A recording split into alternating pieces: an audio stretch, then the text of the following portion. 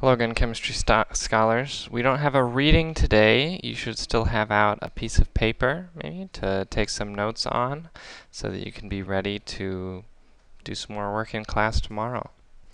So what do you currently see on the screen? A paper clip. Yes. We could go into all sorts of philosophy here about the, the nature of life, but we're actually going to talk about the nature of matter. See, paper clips, they're interesting because we know a paper clip, it takes up mass, which means it has weight, it has matter, and it takes up space. Right? I, I can't fit an infinite number of paper clips into a jar. It, they take up space.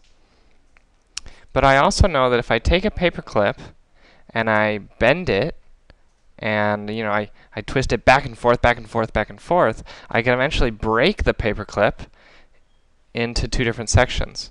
Let's say it's a blue paper clip because that's the color of my pen. Okay, it's a blue paper clip. That's your favorite color or something. I don't know.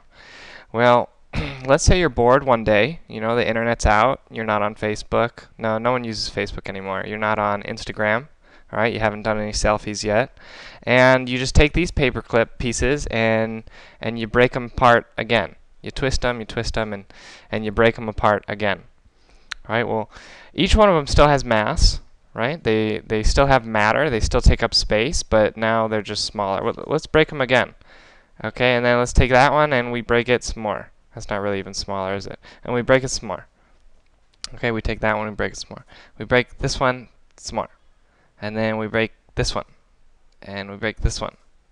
Okay, so pretty soon, you know, we I it would take too much drawing to do this all these, but you're getting really, really, really tiny right? And we could keep doing this until the pieces of paperclip are so small that we can't even see. Now, we know our eyes aren't perfect, right? Because I don't know if you've ever seen a mountain or you've been driving along on the highway and you see a mountain and it's green. Well, you know it's green because there are trees there with leaves, right? But can you see the leaves? No, because they're crazy far away. And so our eyes aren't perfect. They can't see really small things or really far away things. So we know that we can't see everything that's actually inside the paperclip. But can we actually do this forever? No. Right? Because eventually, let's say I take this and I'm going to blow this up. So this is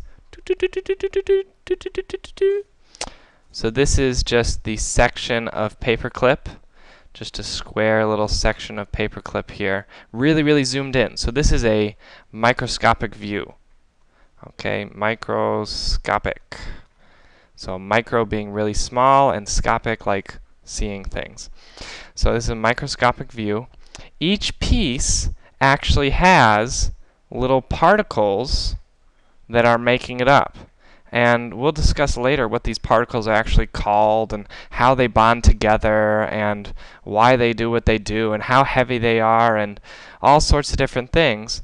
But what I want you to get now is that you can't break things apart forever. Eventually, you can't break them apart anymore. Eventually, you get to on the particle level, the microscopic level, you can't break them apart anymore. Right? And so all matter is actually made up of particles. And this particle nature of matter explains just about everything in life. We'll be referring back to it again and again and again in chemistry. So cement that in your brain.